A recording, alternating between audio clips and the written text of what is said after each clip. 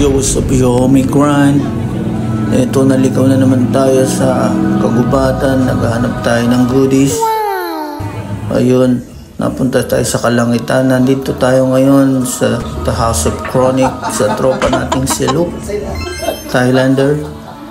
Ayan, ah, nagbabahagi siya ng mabubuti at mabibisang epekto na hatid ng halamang gamot. Diretso na kami dito ngayon sa bumbero para bumomba. See one of my Philippine friends. Yeah. Shout out to the the guys in the piano, bro. Bomba na!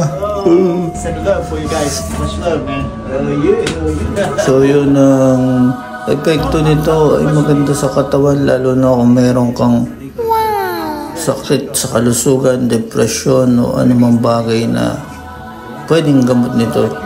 Dito lang legal to sa Thailand. At dyan sa Pinas, X.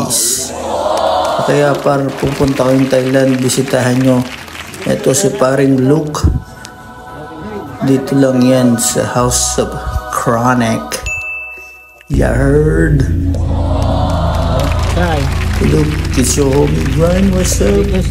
It's Lady Boy.